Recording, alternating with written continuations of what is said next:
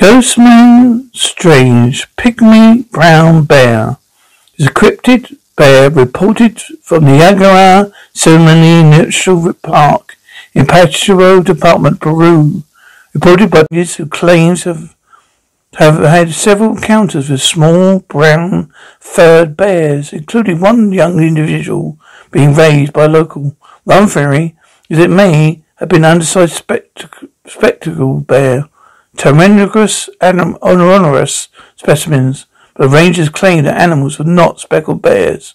Carl Marshall argues it could be a genuine pygmy variety of brown bear, Ursus arctos, a tropical forest animals, are also are often sim- smaller than temperate cousins.